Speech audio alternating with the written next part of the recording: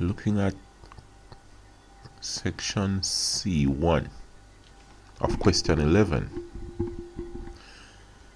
the vectors OP the the, vec the position vectors of the points P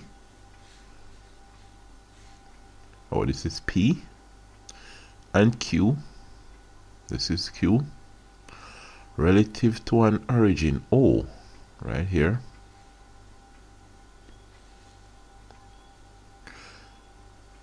R OP equals 4 3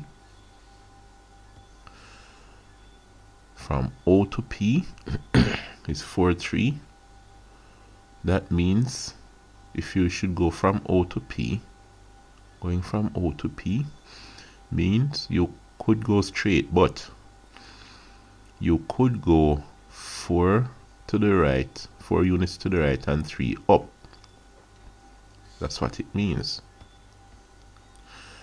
4 3 and OQ is 5 0 from O to Q you go 5 to the right but you neither go up nor down.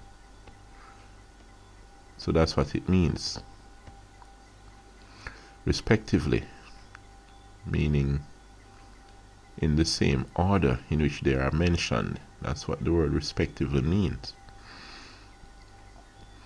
The diagram below shows PR equal 3 from P to R it's 3 units long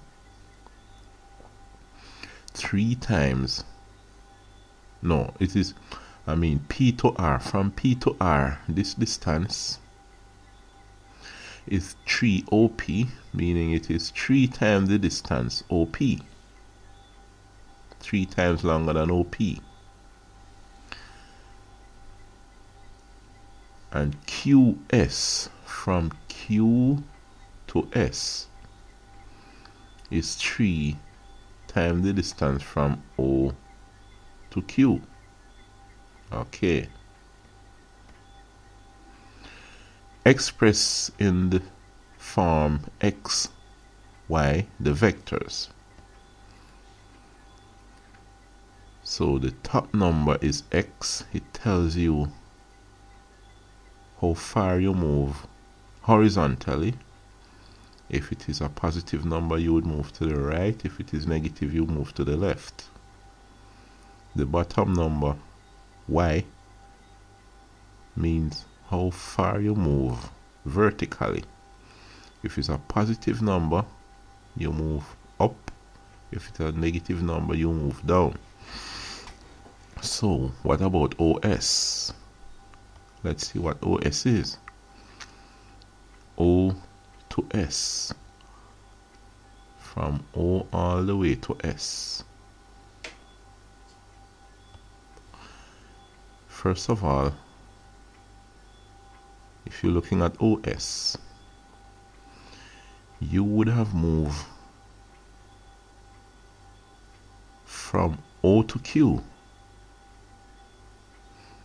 It says OQ is 5.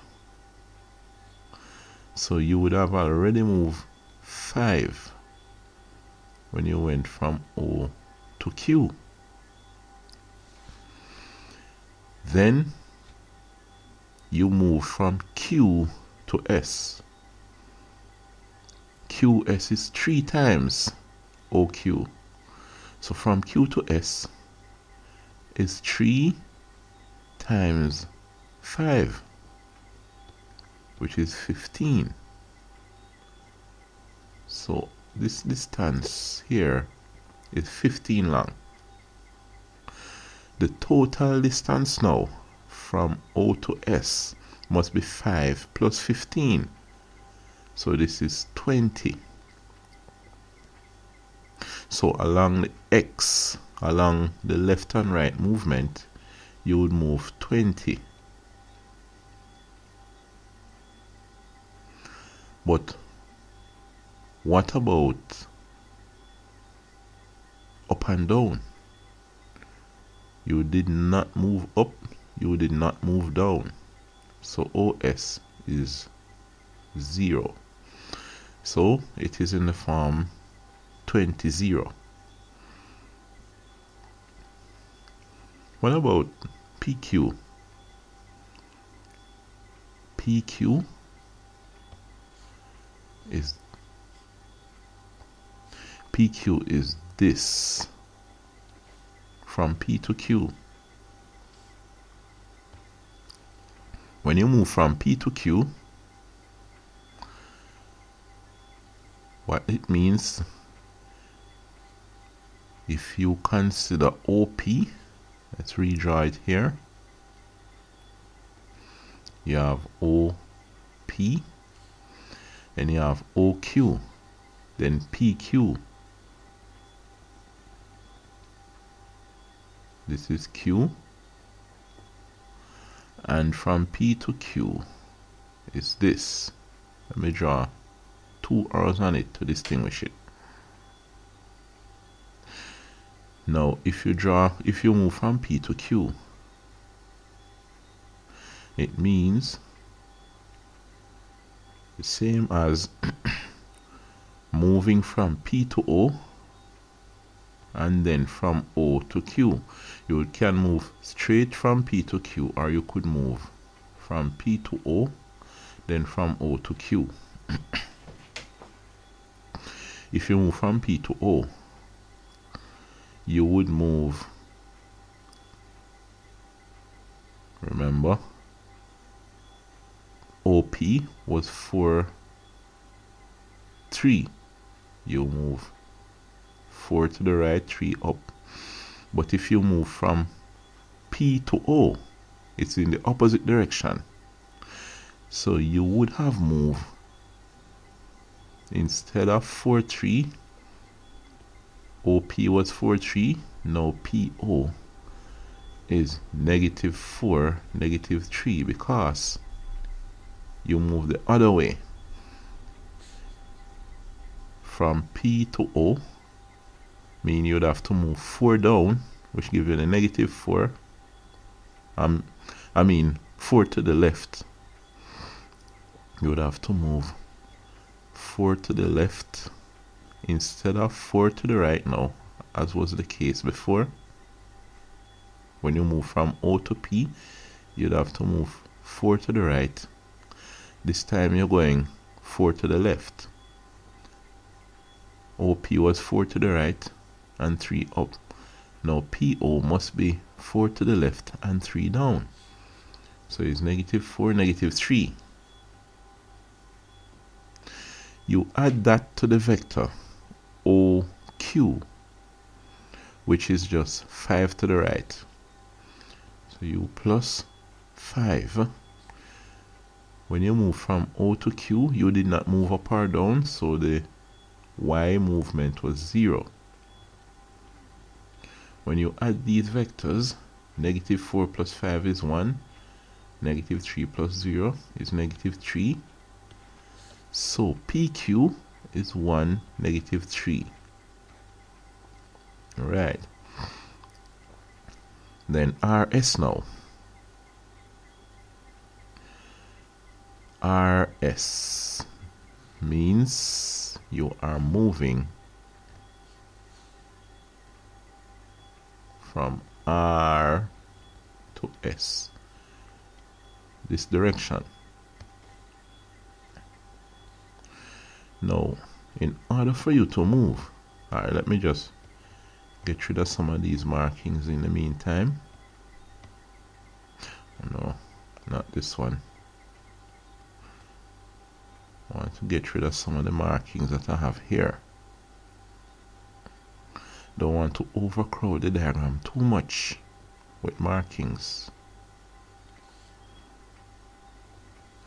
Okay good.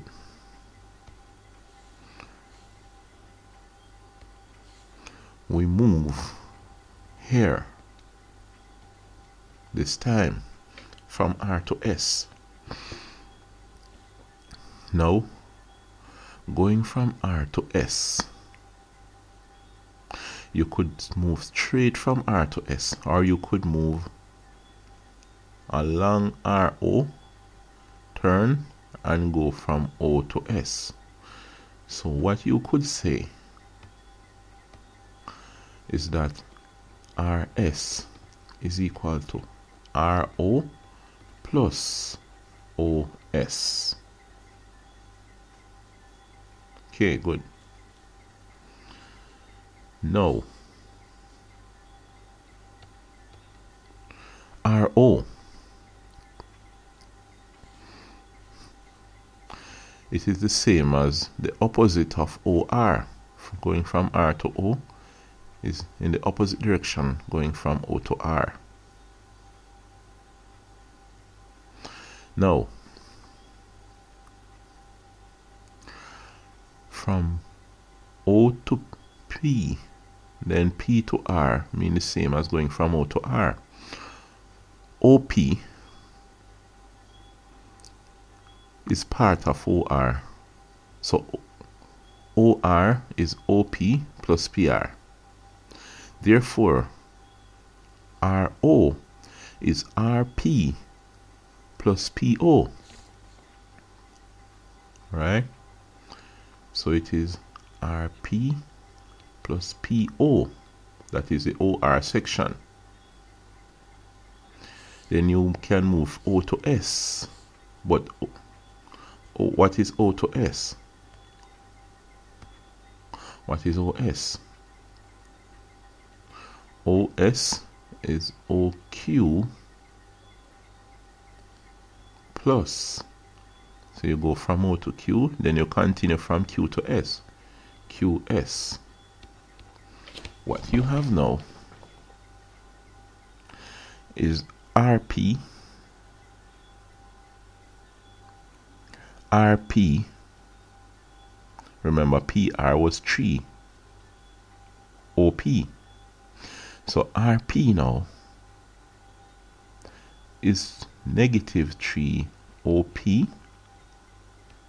plus PO which is the opposite of OP plus negative 4 3 see that RP going from R to P is the opposite of going from P to R, or the inverse vector. So it is the negative. Remember, PR was said to be 3OP, so it is now negative. Going from PR to P is now negative OP, the opposite direction. So instead of 3OP, you now have negative 3OP. Then plus OQ. You don't have to worry about negatives here. OQ. Remember what it was? It was 5, 0 plus. From Q to S now is 3 times OQ. Remember all of that. So, negative 3OP is going to be negative 3 times OP, which is times 4, 3, plus the negative of OP, which is the negative of 4, 3, is negative 4, negative 3, plus 5, 0, plus 3 OQ